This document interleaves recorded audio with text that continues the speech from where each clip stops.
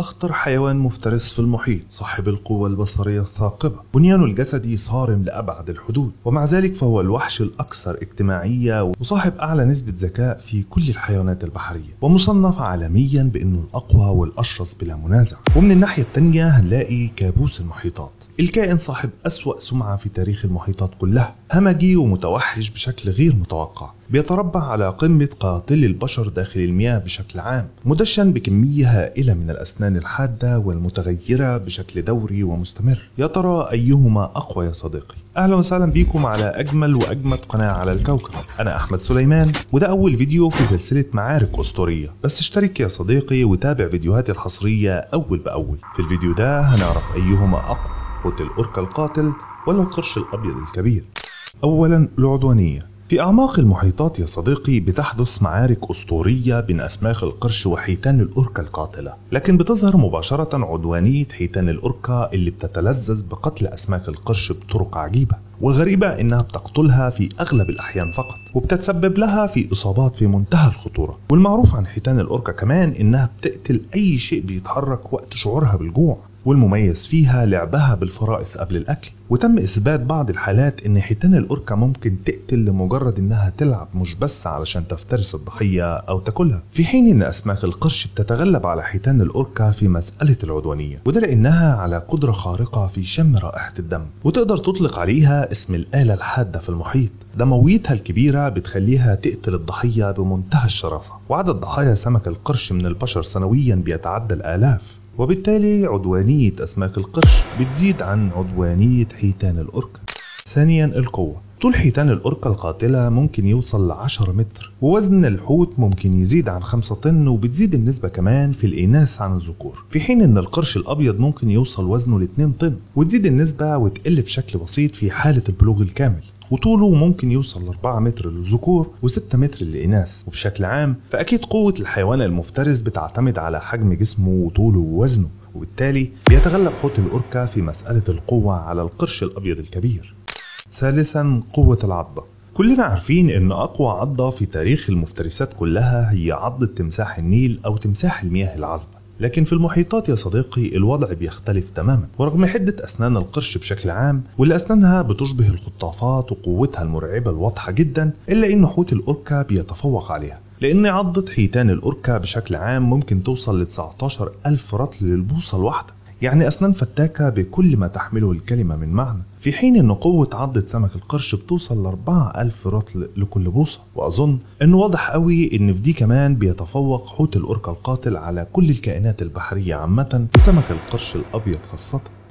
رابعا سرعة السباحة. سرعة حيتان الأوركا بتوصل ل 48 كيلو متر في الساعة لكن أثناء التحرك الهادئ بتكون سرعتها ممكن توصل ل 6 كيلو متر. لكن لو اتكلمنا على سمك القرش الأبيض هنلاقي إن سرعته بتوصل ل 56 كيلو متر في الساعة الواحدة وبكده بتتغلب أسماك القرش البيضاء بشكل كامل على حيتان الأوركا في مسألة السرعة. لكن على فكرة أسرع كائن في المحيط مش حوت الأوركا ولا القرش الأبيض نهائي. هو الدولفين العادي والجميل قوي وابن الحلال ده.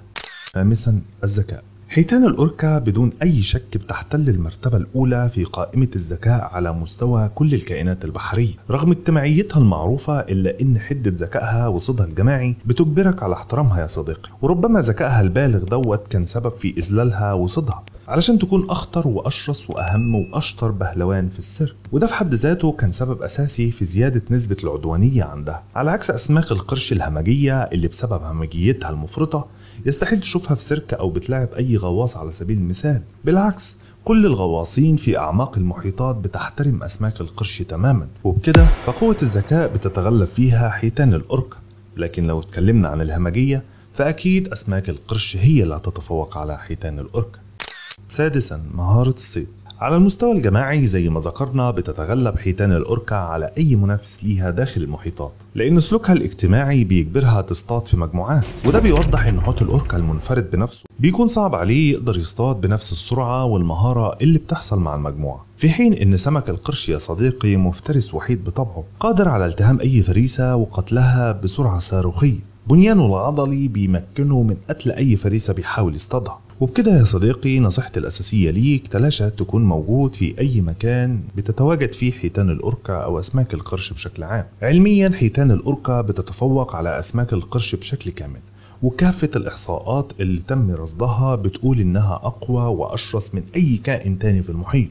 لكن غالبا في مواقف تانية بتحصل ووارد إن الكاميرات تصورها ونشوفها. وبشكل عام عايزك تسيب لي في التعليقات أيهما أقوى من وجهة نظرك. أنا عن نفسي شايف إن حيتان الأوركا هي الأقوى والأشرس والأذكى وكل شيء. دلوقتي بقى هسيب لك جزء من فيديو خاص بحيتان الأوركا. في تفاصيل كتير ما قدرتش أوضحها في الفيديو ده. مهم جدا ولازم تتفرج عليه بالكامل. الفيديو كامل هيظهر لك في آخر الفيديو بتاعنا وهتلاقي اللينك بتاعه في صندوق المقترحات. وبكده أقدر أقول لكم دمتم آمنين. كانت بتلعب معاهم كالعادة وفجأة تحول الصرح المائي الممتع لساحة من القتل الهمجي قدام مئات المشاهدين. واللي لسه فاهمين إن العرض ترفيهي مش حقيقي. تخيل إنك في يوم كنت في عرض مائي ومرتب يومك كله إنك تتفرج على أخطر كائنات المحيط وهي بتمارس الألعاب البهلوانية مع مدربين السباحة. مدربين السباحة دول من المفترض إنهم على احترافية كبيرة جدا وعندهم قدرة للتعامل مع الكائنات دي. وفجأة اتقلب السحر على الساحر الحيتان القاتلة هي الكائن الأشرس بلا منازع داخل مياه المحيطات ارتفاعها بيوصل لتسعة أمتار تقريبا. سباحة ماهرة لأبعد الحدود وسمك القرش صاحب السمعة السيئة بيعجز على مجابهة شراسة وهمجية الحيتان القاتلة واللي واضح من اسمها طبيعتها المفترسة. حسب تقارير العلماء والصيادين أكبر حوت أوركا تم الوصول إليه وصل وزنه لعشر أطنان وطوله زاد عن 9 متر. بأسنان خارقة لأجسام الضحايا سواء كانت فقمات أو حبار عملاق أو حتى سمك القرش. الأبيض والأكبر من كل أنواعه. الخطر الأكبر يا صديقي بتمتلكه حيتان الأوركا المحجوزة داخل الأماكن الترفيهية أيا كان اسمها واللي تقدر تقول إنها برك صغيرة بتحجم منطقة الحوت القاتل بشكل إجباري. سجن معزول فيه عن طبيعته اللي اتخلق عليها وده كفيل يخلي سلوكياته بشكل كامل عدوانية بشكل يفوق الوصف. تم صيد حوت أوركا وأطلقوا عليه اسم تيليكم واللي بعد حجزه ومحاولة تدريبه بسبب السلوك العدواني اللي تملكه الحوت ده قدر يقتل ثلاث مدربين في خلال سنتين. طيب ليه مش لازم يبقى معاك كلب على المركب في منطقة الأوركا؟ وليه لازم تحلق شعرك بالكامل؟ وليه حيتان الأوركا أخطر وهي ميتة عن مدى خطورتها وهي عايشة؟ دمرت اللايك ولا لسه يا صاحبي؟ الخطوة الأولى التعود تقول لا. طبيعة حيتان الأوركا ذكية جدا. بيقدروا يفهموا طبيعة ردود الأفعال البشرية. وعن طريق تكرار حركات معينة من المدرب أو الإنسان المتفاعل معاها بشكل مستمر بتقدر حيتان الأوركا إنها تعرف إيه ممنوع من الأفعال فتبطل تعمله. ده نفسه بيخليها تحاول تعض المدرب بشكل متكرر. لأنها عايزة تعرف لأي مدى مسموح لها بالعض وهنا لازم المدرب يكون حريص جدا وحازم في رد فعله علشان تفهم من خلال حدوده إن الفعل ده ممنوع بالتالي هتتوقف عن تكرار عملية العض الخطوة الثانية احلق شعرك